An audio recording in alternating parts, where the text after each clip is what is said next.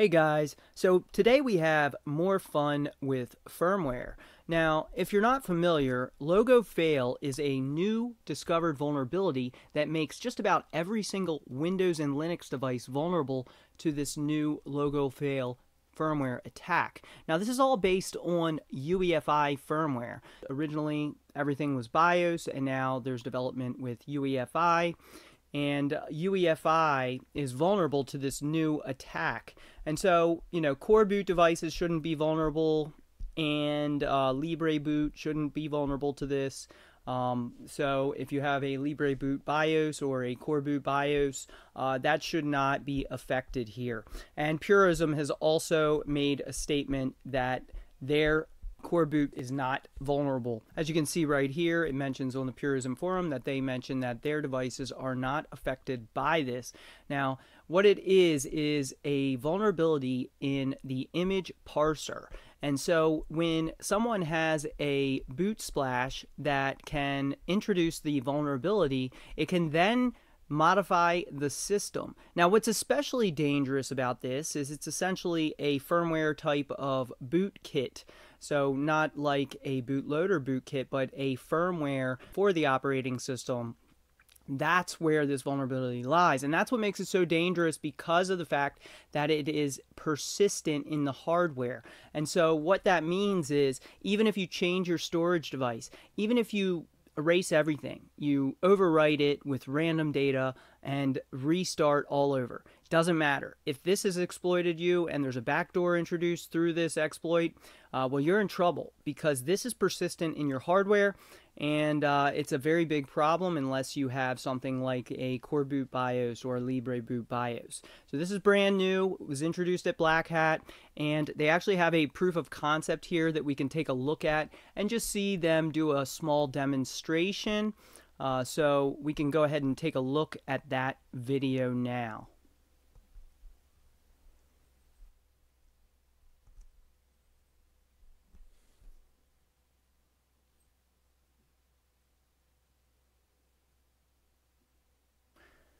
Now, one positive thing is about this, now I guess you can't really call it positive, is there needs to be an administrator, as, as you can see, it's an administrator uh, shell right here.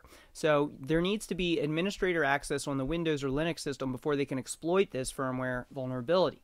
But that can be done various ways, including remotely and they talk about how it could be done remotely. So something could own your hardware on the long term, and that's what persistence means, is that it would be uh, owned long term, even if you change your uh, storage device. So as you can see, they introduced this uh, logo here, and that allowed them to exploit the image parser for the images, and uh, then they can create a file successfully on Linux or the Windows system. So that would allow them to do any number of things on your local file system. They could introduce all kinds of backdoors. So if you remember my coverage before I covered Superfish and how Lenovo laptops in 2015 were discovered to have a BIOS backdoor that was created by an Israeli core intelligence programmer, at least says he was a former Israeli core intelligence programmer. And uh, this individual created something called Komodia, which could have possibly acted as a, a possible plausible deniability. Now, I'm just hypothetically speaking here, I'm not making any claims.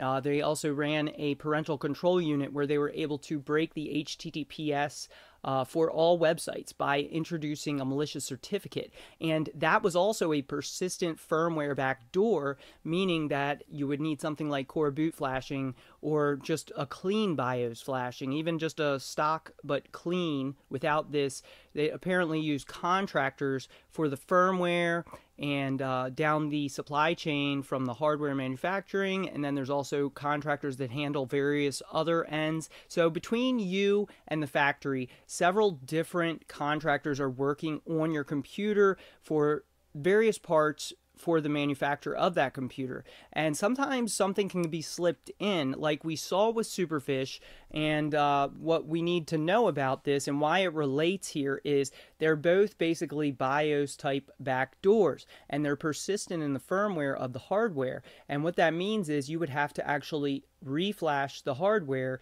in order to get rid of some of the potential problems that this could introduce. It could also introduce the same type of thing that was done with Superfish. And one thing about the Superfish bug is it was, I don't even call it a bug, it's a backdoor. Uh, it introduced a malicious root certificate every time you reinstalled Windows. Now, with Superfish, you could have simply installed Linux because it only targeted Windows systems. But in this case, if this was exploited, it could very well target any operating system.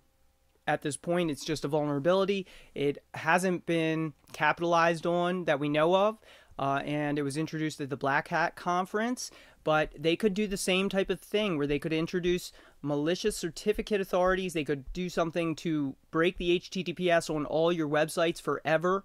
Um, and uh, that's a big deal because even if you reinstall your hardware, your your storage device, or you flash over your storage device, that's not enough here because it's a persistent hardware firmware problem uh, that would allow them to exploit it uh, as long as they can gather the administrative privileges so even if you download something like a fork and it happens to have malicious code and you have to install it with sudo, that would be enough to exploit something like logo fail. So it's a really big deal and I wanted to do a video just to talk about it really quickly uh, just because I think it's something everyone needs to know about. Uh, so if you have something like a coreboot BIOS, you're not, you shouldn't be worried really about this uh, because this is affecting the UEFI um, found in most stock hardware. So it can affect many different computers. It could affect other devices. It also affects ARM. So keep this part in mind. It can also bypass secure boot. So it's a really big deal because of that.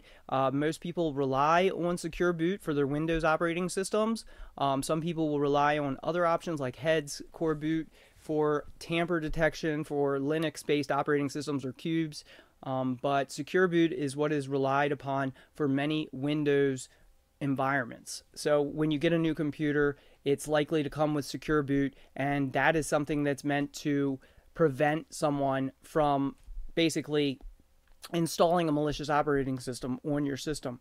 Uh, so we have this graph here, this little photo, where you can kind of see how it works. It's in the DXE the driver execution environment is where it can be exploited in the UEFI secure boot and the image parser is where it is actually vulnerable and there's several vulnerabilities involved. So it's not just a single problem. And sometimes that's why these complex systems like UEFI can be so vulnerable because they're they're complex enough that it's harder to audit. And the more different paths that are given, the more likely it is that there's going to be some form of exploitation available to those paths. So that's one reason I really believe in simplifying things because when you simplify something, at least you can see it all and you can take a look a, a little closer look than if you have a more complex setup where something you know is open to one of these vulnerabilities like an image parser here and they used a fuzzer, which basically tries various different things to,